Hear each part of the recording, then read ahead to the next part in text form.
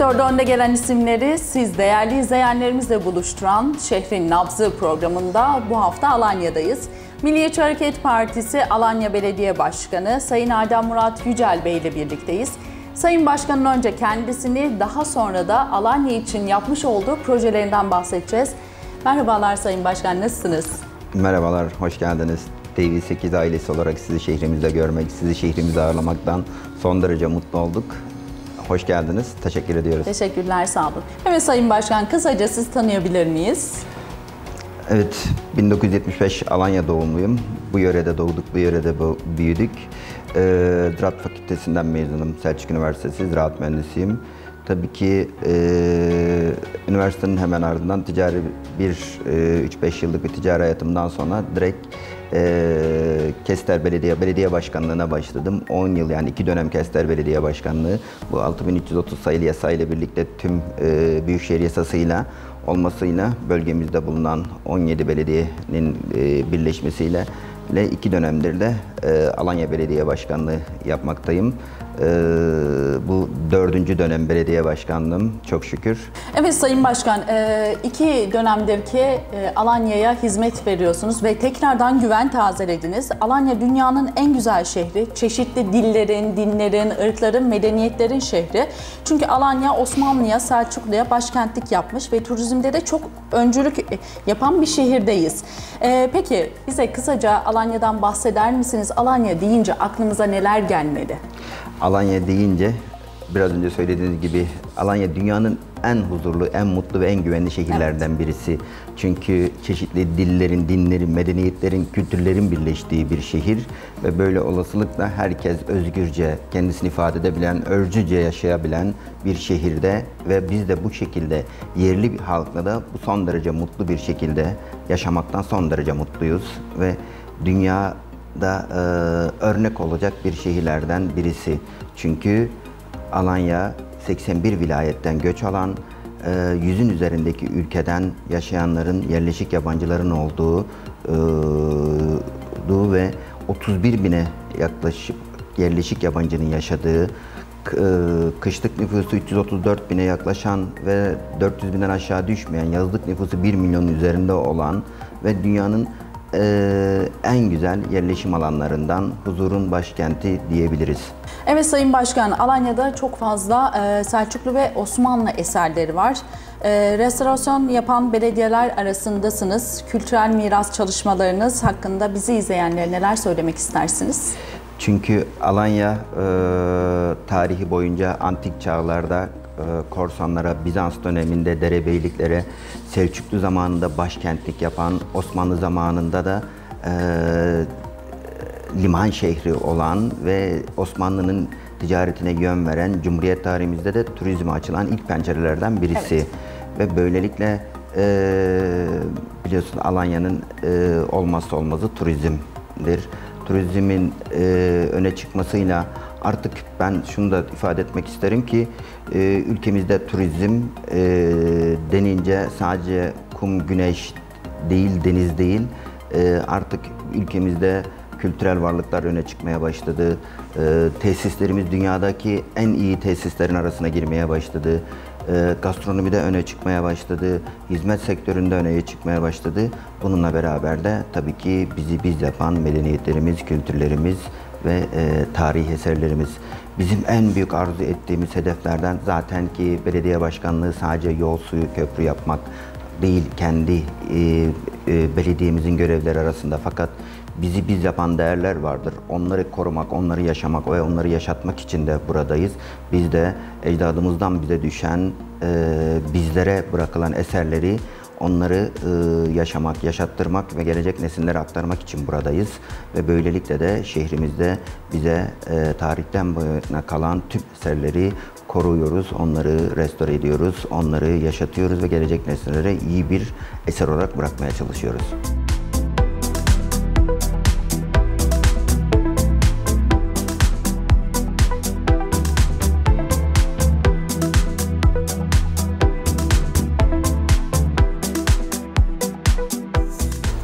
Evet Sayın Başkan, Alanya'nın fethinin 800. yılını kutluyorsunuz. Bizi izleyenlere fetih kutlamalarınızdan bahseder misiniz? Ne tür e, çalışmalar yaptınız. Ee, biraz önce söylediğim gibi tabii ki Alanya Selçuklu'ya başkentlik yapan, Evet. Osmanlı'ya liman şehri yapan ve e, Selçuklu ve Osmanlı'dan kalan birçok e, tarih eserlerimiz vardır. E, ve böylelikle biliyorsunuz ki Alaaddin Keykubat e, Sultan Alanya'yı 1221 yılında da bir bahar ayların, ilkbaharların başlamasıyla fetih etti. Fethetti yani. Daha doğrusu e, bu şehre e, o zaman Türklerin ilk e, denize açıldığı yerlerden birisidir yani. E, sadece fetih deyip de geçmeyelim. Yani Türklerin denize açıldığı yer olarak da e, Alanya'yı e, idrak edebiliriz. Yani Alanya'yı da böylelikle daha iyi de e, tarihteki yerini oturtabiliriz kafamızda. Biz o günden bu yana birçok medeniyetlerle yaşadı, medeniyetlerle birlikte ev sahipliği yaptı ve böylelikle Alanya'nın sultanın Alanya'yı kışlık başkent yapması da Alanya'ya verdiği değerdir e, diye düşünüyoruz. E, biz de bunu bir, e, bir bu e, ecdadımıza olan sorumluluğu yerine getirmek için buradaki yaşayan halkımıza gerek yerele gerek ulusal ve uluslararasına Alanya'nın e, tarihteki önemini anlatmak için bunun 800 yılın fethinin önemli bir gün olduğunu ve daha doğrusu Alanya'nın tanıtımını yapmak için. Çünkü bundan e, 15 20 25 yıl e, öncesine Alanya sadece e, yukarıdan bakıldığı zaman e, güneyde bir sadece küçük bir tatil beldesi olarak görülüyordu. Ama biz bunu Alanya'nın tarih olarak e, kısa vurduğumuz zaman her zaman da duyuyorsunuzdur. Alanya il olmalı e, sözcüğünü çok duyuyorsunuzdur. Biz sadece e, Alanya'nın il olmasını talep değil, tarihteki bir veri, e, tarihteki yerini alması için mücadele ediyoruz. Çünkü Alanya 1864'te Konya, yani burası bir sancaktı. 1864'te e, Konya sancağına bağlanıyor. 68'de tekrar Alanya sancağına bağlanıyor. Yani 1968'e kadar e, Alanya, Antalya neyse e, Alanya'da aynıydı. Aynı statüye bağlanan bir yerdi. Biz de şimdiki tarihteki yerimizi geri almak için mücadelemizi sürdürüyoruz. Bu 800. yılımıza özel e, geçtiğimiz ayda bir lasman Las- gerçekleştirdiniz. Bizi izleyenlere biraz bahseder misiniz? Tabii ki e, biz bunun önemini arz etmek için e, geçtiğimiz Şubat ayı içerisinde e, bir lasmanla e, bir tanıtım yaptık. Bunu da bir yıl içerisine yaymak için gayretlerimizi sürdürüyoruz. E, 2, 3 ve 4 Nisan'da da Cuma günü hutbeyle başlayacak. Cuma hutbesiyle. E, cumartesi de e, Fetih gününün kutlamaları. E, Pazar günü de e, yeni açtığımız e, ve faaliyete geçirdiğimiz e, Avcı Köşkü gibi, Kent Müzesi gibi, Bedesten gibi, diğer yaptığımız, restore ettiğimiz Sarnıçlar gibi, buraları Areste gibi bu bölgelerin açılışlarını gerçekleştireceğiz. Bizim de yıllık 65-66 tane pandeminin önceki yıllarda organizasyonlarımız vardı. Bunun 13-14 tanesi de uluslararası nitelikteydi. Ve bütün yıl boyunca bu organizasyonların içerisine 800 yılı kutlamalarımızı, Fetih Günü'nü nü serpiştirerek e, yıl boyunca kutlayıp yıl boyunca lanse edeceğiz.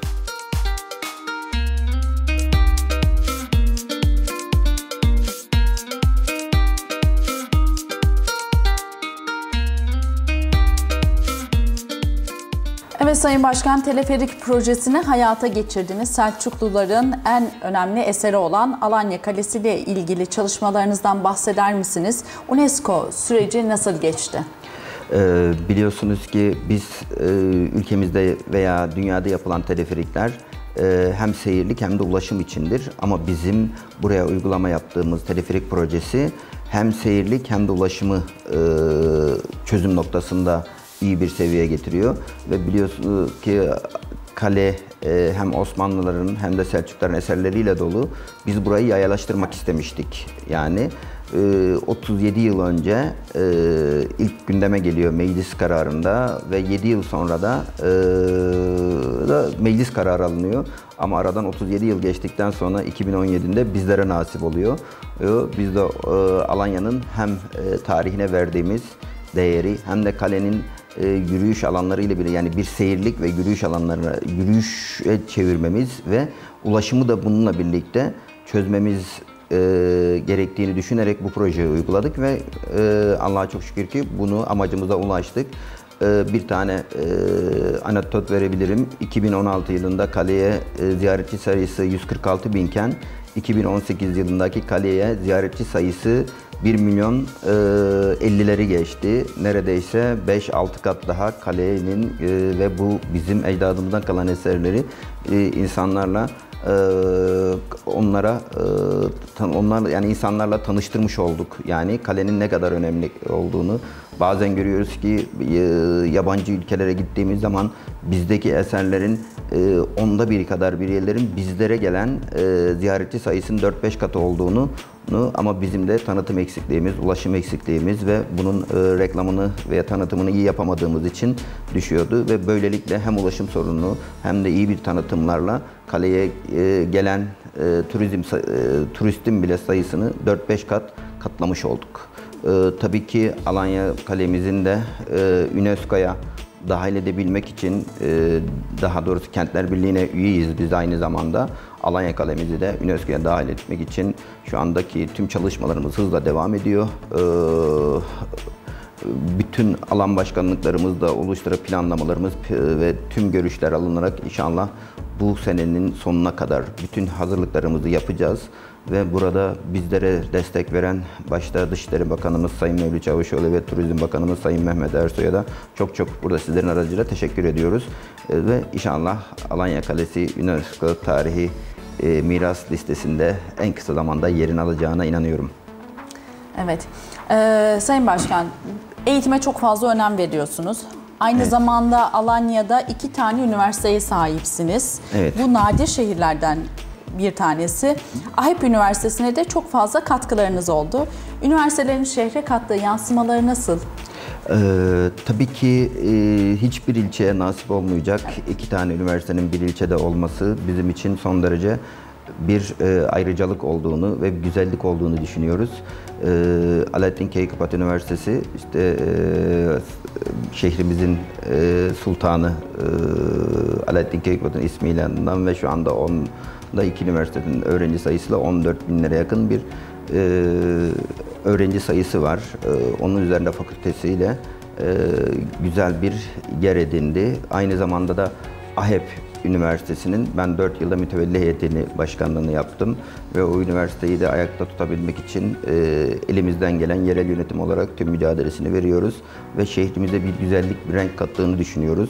Üniversiteler sadece bir şehre ekonomik olarak değil, bir şehri medeniyet şehri, kültür şehri e, ve bu şehrin e, bilimsel verilerle nereye kadar e, taşıyabileceğinin bir göstergesi olarak biz şehrimize ekonomisinden ziyade tabii ki ekonomi de önemlidir ama bizim şehre e, vereceği e, kültür e, ve e, bilimsel verilerin üzerinde daha daha fazla duram- durulması gerektiğini inananlardanız. Hem bölgemize hem de ulusumuza ve e, faydalı olacak bir çalışma içerisinde olduğunu düşünüyorum üniversitelerin. Şu anda da güzel bir yönetimle birlikte şehirle entegre oldu, şehirle yaşayıp şehirle kalkan üniversitelerimiz var. Evet Sayın Başkan, eğitime verdiğiniz katkılardan bahseder misiniz? Biz e, biraz önce söylediğim gibi her yerel yönetimin sadece yapması gerekenleri değil, e, biz her şeyin eğitimle olacağını düşünen bir e, yönetim anlayışımız var. Onun için de e, eğitime oldukça yüksek bir seviyede önem veriyoruz ve onlara destek veriyoruz. Biz Alanya Belediyesi olarak okullar yaptıran, yurtlar yaptıran, kreşler yaptıran, e, etüt merkezleri yaptıran, ee, ve bütün yaptığımız e, kültür merkezleri beraber düğün salonlarında hepsine kütüphane ve sosyal altyapısını ve bilgisayar odaları gibi yaptırıp ve halkın kullanımına sunan bir e, anlayışımız var. E, geçen dönemlerde iki tane Anadolu Lisesi'ni yaptırdık. Sekiz tane ek okulların e, sınıflar ikili öğretimden okullar yaptırarak ikili öğretimden tek öğretime geçmesini sağladık. 107 tane okulun bugüne kadar da çevre düzenlemesini yaptırdık ve kırsaldaki tüm kız çocuklarımızın okuyabilmesi için konaklama sorunu olarak kız öğrenci yurtları da yaptırıyoruz ve bu bölgedeki de şimdi de kreşlerimize de başladık ve kreşlerle de ve bütün e, ihtiyaç sahibi e, çalışan ailelere, çalışan kadınlarımıza da e, çocukların kreşlere e, de kalma olanaklarını sana kreşlerde yaptırıyoruz. Ve e, tekrar yenileyerek söylüyorum, her şeyin eğitimle olacağını düşünülenlerden bir anlayışa, bir yönetim şekline sahip bir belediyeyiz, bir anlayışımız var. Evet. Evet e, Sayın Başkan, Alanya Belediyesi'nin Milliyetçi Hareket Partisi'nin üretken belediyecilik anlayışıyla ortaya koyduğunuz proje ve hizmetleriniz var. Bu hizmetlerden bahsedecek olursak bizlere neler söylemek istersiniz? E, tabii ki biz e, bu Büyükşehir Yasası ile birlikte 6330 sayılı yasayla birlikte 16, 10, bir de merkez 17 belediye, 68 köy, 84 yayla, bir de özel idareden bize e, aktarılan e, personel ve yani özel idarenin de işleriyle birlikte e, bir e, her liter Alanya'nın tamamına hizmet götürme olanağımız olmasıyla birlikte iyi bir kurumsallaşma, iyi bir yapılanmayla, iyi bir e, araç gereçe sahip olma ve kalifeli arkadaşlarımızla birlikte iyi bir e, şehrin her tarafına dokunmak zorundaydık. Merkeze, beldelere, köylere ve yaylalara, kırsal bölgelere. Bu yapılanmayı çok iyi yaptık ve bununla birlikte de tabii ki e, biz e, üretken belediyemizi öne çıkartarak çıkartarak kendimizi bu yapılanmalarda kendimize e, ürettiğimizde hem tasarruf yaparak güçlenerek, güçlendikçe de büyüyen ve büyüdükçe de daha iyi hizmet eden bir belediye anlayışına sahip olabilmemiz için ve, üretkenliğimizi de öne çıkarmak zorundaydık. E, biliyorsunuz ki e, GES yani yenilebilir enerjide de elektrik üretiminde Türkiye'deki kamu kurum kuruluşları içerisindeki en büyük belediyeyiz. Daha hala da aynıyız. En büyük projeydi. Bizim e, aylık belediyemizin 6-700 bin TL'lik bir e, elektrik tüketimimiz var ki bunu yıllık bazda e, endekslediğimiz zaman 375 abonemiz var. Tamamını kendi üretimimizden sağlıyoruz. 4 megawattlık yani 4000 kilowattlık bir üretim tesisimiz var ve bundan karşılayabiliyoruz. Aynı zamanda asfalt plantimiz e, eskiki 60 tonluktu, şimdiki 160 ton saat üretebilecekse bölgenin en büyük asfalt plantine sahibiz. Artı bununla birlikte ARGE yani asfaltın ham maddesinde kullanılan, yollarda ham maddesinde kullanılan ARGE tesisine e, günde 300 ton üzerinde üretim ve pardon saatte 300 ton üzerinde üretim yapabilen bir ARGE tesisimize var. Artı bölgede tek olan e, beton fabrik, e, fabrikamız var. Çünkü bizim bölgemizdeki kırsal bölgelerde e, asfalt makinalarının, plantlerin çıkmadığı yerlere bu betonlarla yolları hem satin kaplama hem sıcak asfalt hem de beton kap, e, betonla beton kaplama ile yapmak zorunda kalıyoruz ve bu da bizim e, kolaylık oluyor ve herkese de eşit bir şekilde hizmet etmek nasip oluyor. Ee, aynı zamanda e, üretken verici olan tüm bitki tesislerimizde e, bitkilerimizi de özellikle de e, mevsimlik bitkilerimizi de kendimiz üretmeye çalışıyoruz. Neredeyse e, hemen hemen ve şu anda da çok yıllık bitkilere de geçmeye başladık. Ve de tabii ki bu da bize bir, çok iyi bir ekonomik destek sağlıyor. Yani e, eğitimde olduğu gibi üretimde de ender belediyelerden birisi diye söyleyebilirim. Evet. Sayın Başkan, e, iki dönemdir ki belediye başkanlığı yapıyorsunuz. Bu tekrardan halkın güvenini sağladığınız için e, tekrardan seçildiniz. Peki Ta, üzerinde tabii çalıştığınız... Ki evet. Orada onu şunu da söylemekte e, söylemek isterim yani. E, övmek gibi olmasın ama e, Türkiye'de de e, oyunu en fazla arttıran belediye başkanı ikinci dönemde. Başarılarınızın devamını diliyoruz bizler de sizlere. Sağ olasın.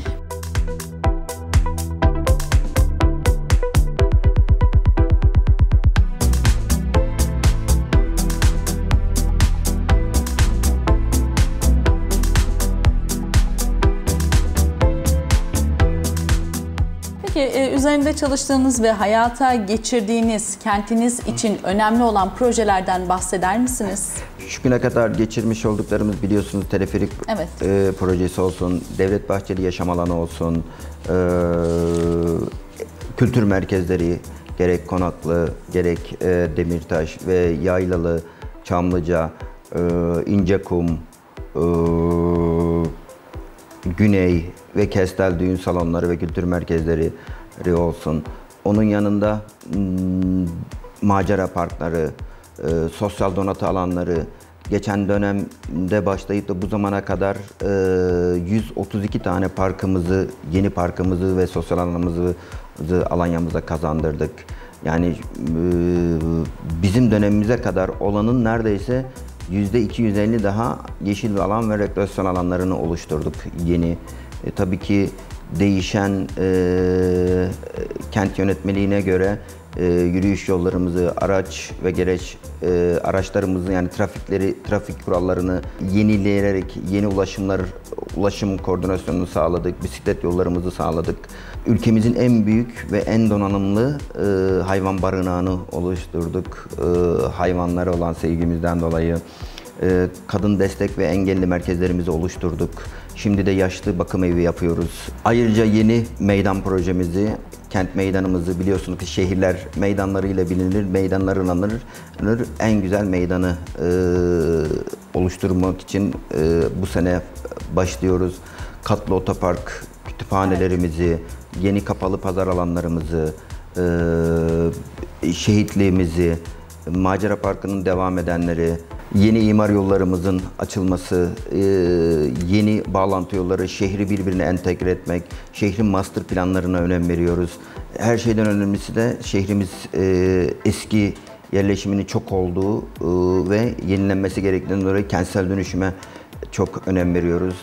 Depreme dayanıklı, biliyorsun ülkemiz deprem bölgesi olduğu için Evet. kentsel dönüşüme çok önem veriyoruz ve Antalya bölgesinde iki belediyeden birisiyiz. Riskli bölge ilan edip ve kentsel dönüşüme önem veren ve en büyük alanlarının kentsel dönüşüme sokulan bölgeyi olarak da bu da tabii ki şehir, ülkemizin deprem bölgesi olmasından dolayı biz de bu bölgeleri yerleşim alanlarında da kentsel dönüşüme sokarak Alanya'yı yaşanılabilir bir cazibe merkezine getirmek için mücadele ediyoruz. Evet Sayın Başkan, sosyal belediyecilik konusunda Alanya Belediyesi olarak örnek bir şehirsiniz. Birçok projenizi bizler basından takip ediyoruz. Alanya aynı zamanda engelsiz bir kent. Kent. Sosyal ve engelsiz kent çalışmalarınızdan da bahseder misiniz? Tabii ki e, bizim engelli kent yönetmeliğimiz olarak gerek iş yeri açmalarda, gerekse e, ruhsatlarda, inşaatlarda, en, e, cadde sokaklarda sosyal donatı alanların düzenlenmesinde engelsiz kent yönetmeliğini uygulayan yegane belediyelerden birisiyiz. E, hatta ülkemizde yani uluslararası yarışmalarda sürdürü erişilebilir e, kent yönetmeliğini uygulayan belediyelerde uluslararası yarışmalardaki e, ülkemizi temsil eden 3 belediyeden birisi de Alanya Belediyesi'dir. Bizim birçok bütün yaptığımız projeler engelsiz kent yönetmeliğine uygun hazırlanıp ve sürdürülebilirlik konusunda ve uygulanabilirlik konusunda gerçekçi verilerle çalışan bir belediyeyiz. Ee, engelsiz bireyler için ve cadde ve yol düzenlemelerimiz, sahil ve e, plaj düzenlemelerimiz, spor alanları düzenlemelerimiz e, ve Konaklı Engelsiz Kant Yaşam Merkezimizi oluşturuyoruz şu anda.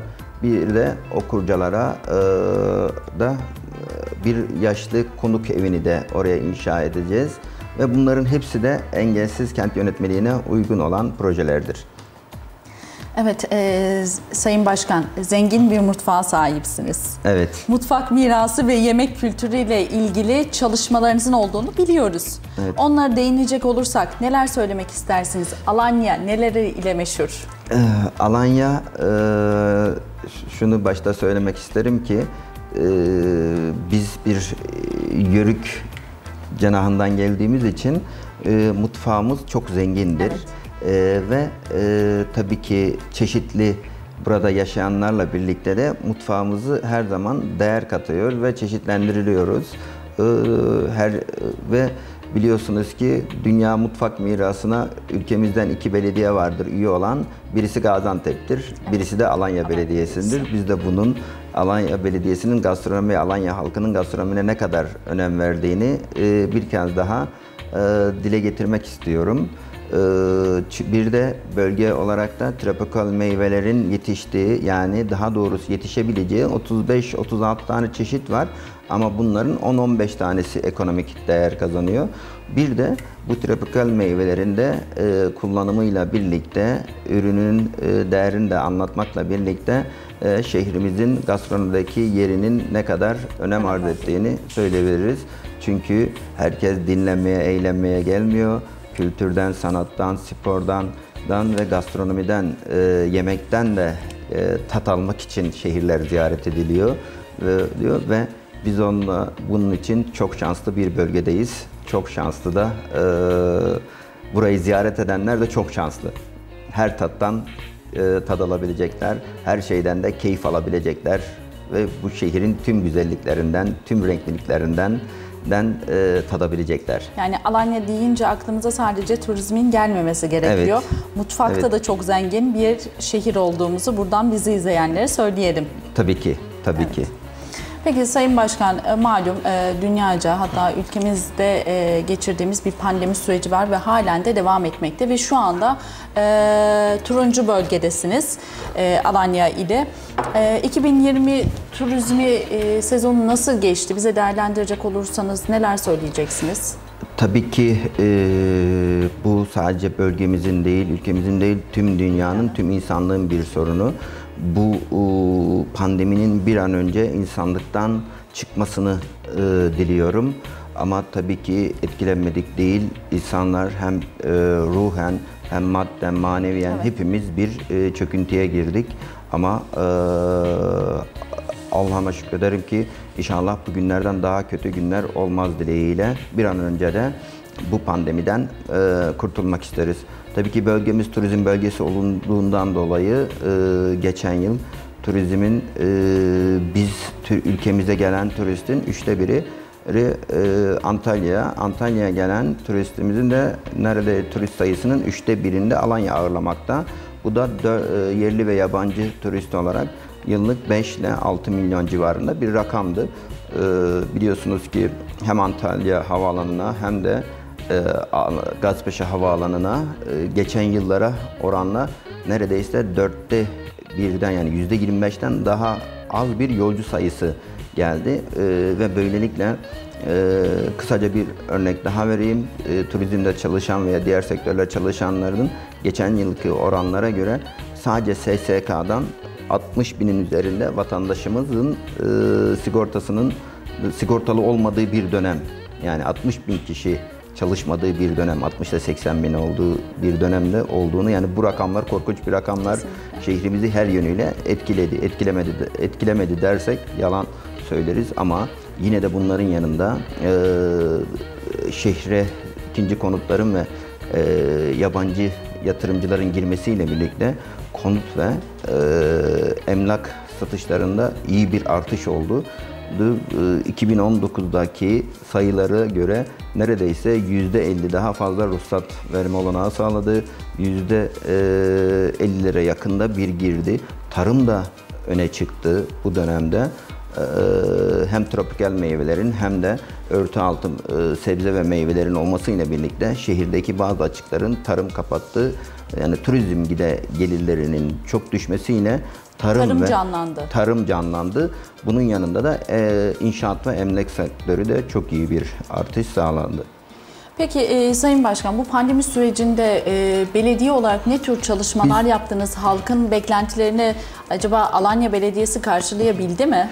Ee, biz kanunların e, yani 5393 sayılı kanunların bize verdiği yetkinin de, de sorumlulukları olan meclisin ve encümenin yönetimin sorumluluğu olan lan e, her şeyleri verdiği yetkileri sınırsız kullandık. Ee, mesela e, kira gelirlerimizi 3 ay almadık. Uzatmaları, taksitlemeleri, a- yeni çıkan af yasasından taksitlemelerine hepsini dahil ettik. Ee, bazı yerlerimizde 6 aylık, 8 aylık işgaliyeler, erci misillerimizi düşürdük. KDV'leri %8'e indirdik. E, e, ve şehirde vatandaşımızın ihtiyaç olduğu ilk dönemdeki maskeden tutun da hijyen konusunda e, şehri tamamen dezenfekte ederek mikrosis araçlarıyla ülkemizdeki belli başlı araçlardan tamamen sosyal alanlarını tamamen e, eczanedir, lokantadır, e, hastanedir, sağlık ocaklarıdır, kamu kurum kuruluştur, yerel yönetimlerdir, dir, kolluk kuvvetleridir, camilerdir, dir, medreselerdir. Her şeyleri baştan sona eli, gücümüzün yettiği şekilde dezenfektelerle sosyal insanların daha sağlıklı, daha huzurlu, daha mutlu yaşamaları için elimizden gelen yerel yönetime düşen kolluk kuvvetlerimizle birlikte her görevi yaptığımızı yerine getirmeye çalıştık. Ee, Buradaki kurumlarla birlikte, vatandaşlarımızla birlikte bizim için vatandaşımızın sağlığı çok önemli. Önce insan politikasıyla kar gütmeden hizmet üretmeye çalıştık. Bu yıl, bu yıl içerisinde daha da çalışacağız. Peki Sayın Başkan, e, şu anda baktığımızda bir harita var ve o haritada turuncu bölgede yer alıyorsunuz. Peki 2021 turizm sektörüne Alanya e, etkilenecek mi? Neler söylemek istersiniz Alanya halkına? Nelere dikkat etmeleri gerekiyor? Çünkü hani riskli bir bölgede. Tabii ki. Ee, biraz önce söylediğim gibi turizmle e, çünkü sürekli insan sirkülasyonu oluyor bölgede. Bunun için şu andaki 1 lira önce hedefimiz turuncu listeden çıkarak mavi listeye girmek. Ee, tabii ki burada biraz zorlanacağız ama halkımız da gerçekten duyarlı. Hem e, mesafe kurallarına hem e, maskeye hem de hijyen kurallarına duyarlı bir şekilde se- seyrediyoruz. Daha da bunu arttırarak bilinçli bir şekilde insan sağlığı için elimizden gelen bölge halkıyla gayretleri sürdüreceğiz. Evet. Evet Sayın Başkan verdiğiniz bilgiler için sizlere teşekkür ediyoruz. Başarılarınızın devamını diliyoruz. Peki son olarak bizi izleyenlere neler söylemek istersiniz? Ben teşekkür ediyorum. Alanya denince huzurun başkenti, dünyanın en huzurlu, en mutlu ve en güvenli şehirlerinden birisi. Ve böylelikle de tabii ki biz bu şehirde görev yapmaktan son derece mutluyuz. Bu yıl geçmiş yılları aratmamak kaydıyla son derece mutlu, huzurlu ve kazançlı bir yıl olacağına inanıyorum. Biz yerel yönetim olarak üzerimize düşen her şeyi son derece tertipli, düzenli ve e, seviyeli bir şekilde yapmaya çalışacağız ve yapacağız da biz şehrimizde e, huzur, mutluluk ve güvenli bir şehir istiyoruz. Böylelikle de bizim çalışmalarımız bu yönde devam ediyor. Ben de e, sizlere TV8 e, televizyonu, TV8 ailesi olarak sizlere e, çok çok teşekkür ediyorum. Böyle bir imkanı bizlere sunduğunuz için sizlere de başarılar diliyorum. Herkese de buradan selam ve sevgilerimi sunuyorum. Bizler de sizlere teşekkür ediyoruz. Başarılarınızın devamını Çok diliyoruz sağ Sayın olun, Başkan. çok sağ olun, çok sağ olun. Evet değerli izleyenler, Belediye Başkanı Sayın Adem Murat Yücel Bey'e verdiği bilgilerden dolayı teşekkür ediyoruz. Başarılarının devamını diliyoruz. Şehrin Nabzı programı kaldığı yerden devam ediyor.